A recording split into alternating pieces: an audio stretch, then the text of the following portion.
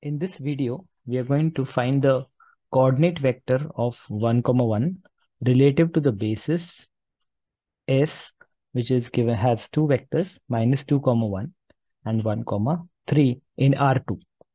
Now let us see how to solve this problem.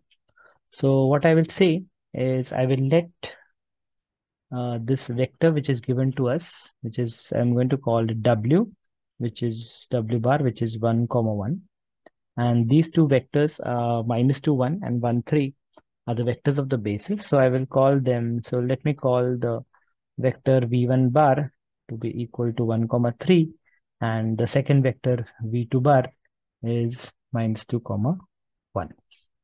Right, and we will try to express the given vector w bar in the linear combination uh, of the two vectors v1 bar and v2 bar. So I will say w bar is equal to c1 v1 bar plus c2 v2 bar. We are going to find the the the numbers c1 and c2, the scalars c1 and c2. This means 1 comma 1 is equal to c1 times 1 comma 3 plus c2 times minus 2 comma 1.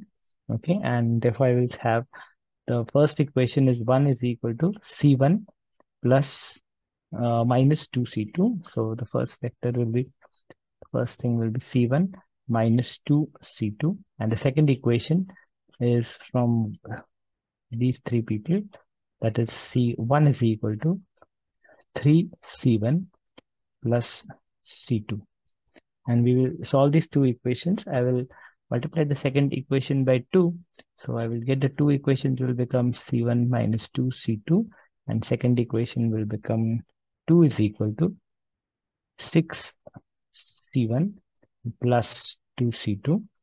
And when I solve them, I'm going to get 3 is equal to 7 C1.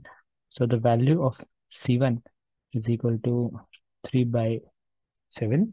And when I substitute it in the first equation or any, any of one of these equation, I will get the value of C2 is equal to minus 2 by 7.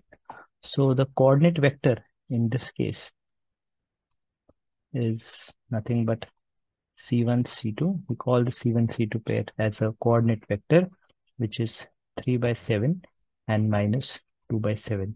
In short, what we have done is we have taken the vector W bar, which is 1, comma 1, and we have written it as a linear combination of C1, which is 3 by 7 times the first vector.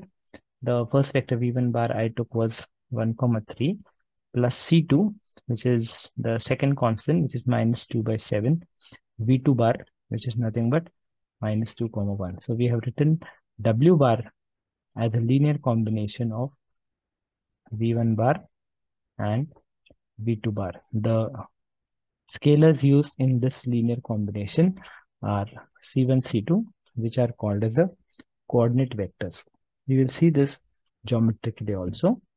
So now in R2, we will first plot the vector v1 bar, which is equal to 1 comma 3. The second vector is minus 2 comma 1. Then we take 3 by 7 of the first vector v1 bar, which is a shorter vector. So that is a black in color. And the next vector is minus 2 by 7 v2 bar, which is negative, uh, having a negative sign. So it will be on the opposite side. And now we will join the parallelogram. We'll complete this parallelogram. And then I will draw a diagonal of this parallelogram, that is actually the resultant vector, which is w bar, which is equal to c1 v1 bar plus c2 v2 bar, which is 1 comma 1.